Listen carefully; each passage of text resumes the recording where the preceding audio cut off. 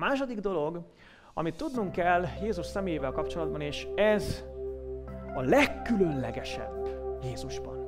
Tudjátok mi az? Az, hogy ő a testet öltött Isten. Ez hihetetlen. Ez fantasztikus. Ez egy, ez egy, ez egy megdöbbentő dolog, hogy az a hatalmas lény, aki mindenkinél nagyobb, akinek a nagyságát és a dicsőségét el sem tudjuk képzelni, az a hatalmas lény, aki megteremtett itt mindent, a napot, a holdat, a csillagokat, a, a naprendszert, az embert, a növényeket, az állatokat, aki működésbe hozta mindezt a lenyűgöző rendszert, aminek mi is a része vagyunk. Ez a hatalmas Isten a történelem egy pontján belépett az emberi világba, a saját világába, abba a világba, amit ő alkotott. Milyen fantasztikus dolog ez! Abba a világba lépett be, amit ő alkotott. Olyan emberi testbe jött el, amilyen embert ő alkotott. Különleges volt a születése, a fogantatása.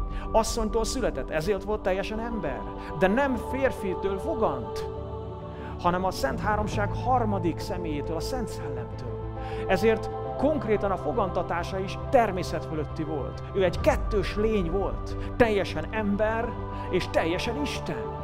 És amikor megszületett, akkor természet fölötti csodás jelenségek történtek, angyalok jelentek meg. És szóltak a pásztorokhoz kint a mezőn, hogy az Isten fia született meg. Eljöttek napkeletről olyan tudósok, akik felismerték az ő csillagát korabeli proféciák alapján. És amikor Jézus felnőtt, akkor egy különleges személyként élt és mozgott és cselekedett az emberek között. A személyisége magával ragadó volt. Tisztaság árad belőle igazság árad belőle.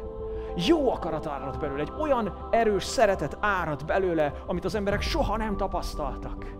És bármerre ment, bárhogy mozdult, bármit mondott, bármit tett, egy csodálatos, mennyei jelenlét vette őt körül. És amikor az embereknek beszélt, akkor az emberek érezték, hogy hatalommal beszél hogy valami különleges dolog történik.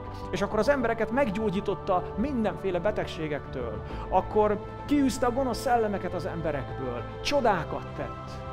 És amit tanított, az igaz volt. Amit tett, az természet fölötti volt. És maga a lénye is tiszta és vonzó volt.